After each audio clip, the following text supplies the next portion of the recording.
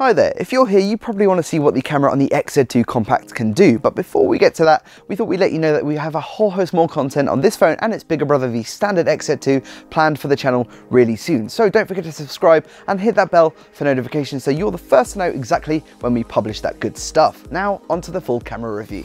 Hardware. Like its bigger sibling, the XZ2 Compact rocks the latest build of Sony's Motion Eye camera tech. The main 19 megapixel Exmor RS memory stacked sensor boasts 1.22 micron pixels, predictive hybrid autofocus, and an f2.0 aperture. Thanks to the assistive power of Qualcomm's Snapdragon 845 processor which lies at the heart of this thing, you now also have the option of 4K recording with HDR visuals.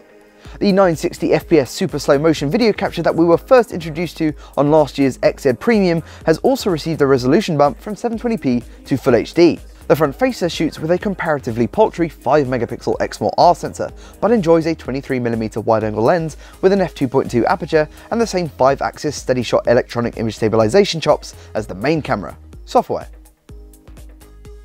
Sony's camera interface remains relatively unchanged from previous incarnations, with only minor tweaks to the interface design to accommodate some of the new functionality on board. It's important to note that the settings menu is dynamic, presenting different options like capture resolution depending on whether you're shooting stills or video. A little more confusing is the separate camera apps tab, which holds some of the compact's more creative shooting modes like artistic effects, the company's signature augmented reality lenses, and a standalone bokeh tool which can also be accessed directly from the phone's app store. General usability is governed by swiping to change modes or jump between the phone's cameras, whilst manual controls are handled with taps and drags. While Sony boasts about the XZ2 Compact's 8 times digital zoom, shooting through a single rear sensor means it's lossy, so you're actually degrading image quality the further you crop in. Photo quality. Whilst robust manual controls are on hand, most of the time, the phone's default superior auto mode will serve you well. The XZ2 Compact doesn't come with the fastest shutter around, but the shots it captures are consistently pleasing to the eye, irrespective of whether they're taken in low light or high contrast environments.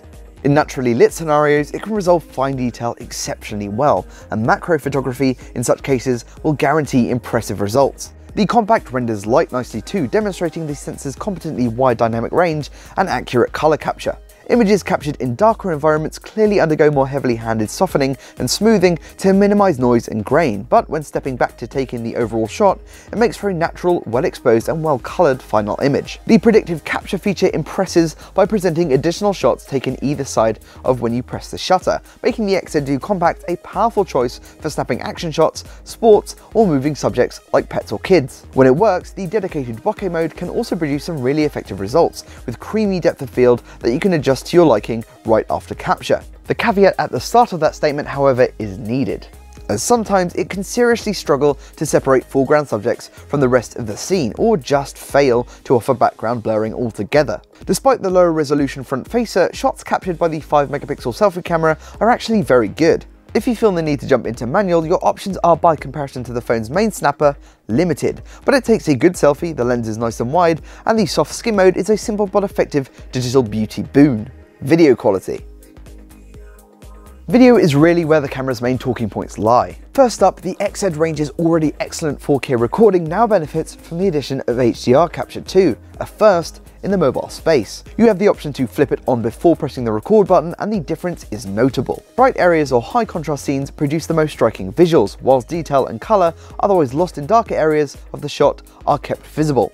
Even at 4K resolution, you can see the 5-axis steady shot EIS system working hard to keep footage stable and smooth, and whilst it isn't buttery smooth, it's an unquestionably welcome inclusion. You'll likely have the most fun with the XZ2 Compact's other video party piece. 960 FPS super slow motion was a big talking point on last year's XZ and XZ1 handsets, but now Sony's upped the ante even further by raising the capture resolution to Full HD.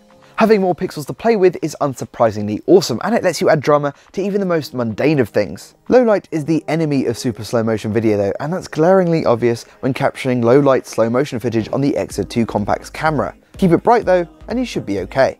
Dropping the resolution to 720p gives you twice as much slow motion capture time, but you're losing detail and the image is also heavily cropped in too. So hopefully this video has left you just as impressed with the XZ2 Compact's camera as we are, and if you want to see more of this phone, you can watch it on our YouTube channel. Don't forget to subscribe, hit that bell for notifications, and thanks for watching.